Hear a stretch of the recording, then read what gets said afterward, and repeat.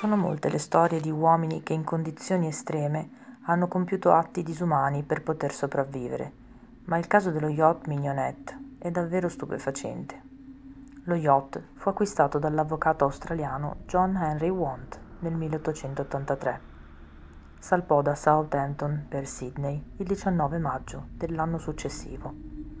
L'equipaggio era formato dal capitano Tom Dudley e i marinai Edwin Stephen e Edmund Brooks e dal mozzo, il diciassettenne Richard Parker.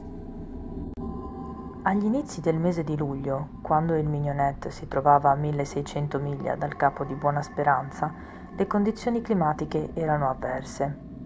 Il capitano Dudley cercò di fare in modo che la nave non subisse danni, ma un'onda anomala finì con il capovolgere lo yacht e ciò costrinse i quattro membri dell'equipaggio a mettersi in salvo su una scialuppa, mentre la nave colava miseramente a picco. La situazione fu tragica da principio. A bordo della scialuppa non c'erano viveri o attrezzature per pescare e riuscirono inizialmente a sfamarsi catturando una grossa tartaruga marina, ma ben presto fu chiaro a tutti che, per sopravvivere, avrebbero dovuto cedere agli istinti più primordiali mangiarsi a vicenda. Il capitano e il marinaio Stephen erano favorevoli a ciò e decisero che la vittima sacrificale sarebbe dovuta essere il mozzo Parker, in quanto senza famiglia e anche di salute cagionevole. Il momento fu ricordato da Edmund Brooks in questo memoriale. Il capitano quindi si chinò sul ragazzo dicendogli Parker, è giunta la tua ora. E perché? rispose il povero giovane. Io con l'altro ci trascinammo dall'altro lato del battello, udii quindi un piccolo grido e svenni. Di lì a poco, aperti gli occhi, vidi Parker morto e scorsi il capitano e Stephen, che gli succhiavano il sangue da una ferita al collo. Datemene una goccia, gridai, e lo bevvi.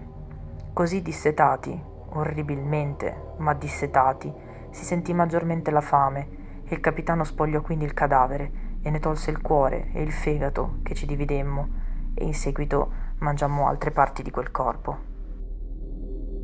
Grazie a quel macabro e disumano espediente, i tre sopravvissero fino al 26 luglio, quando furono avvistati dal mercantile tedesco Montezuma all'arco delle coste di Rio de Janeiro. Per le loro azioni, Dudley e Stephen furono inizialmente condannati a morte dal Tribunale di Londra, ma la loro pena, vista la gravità della situazione in cui la commisero, venne commutata in sei mesi di lavori forzati.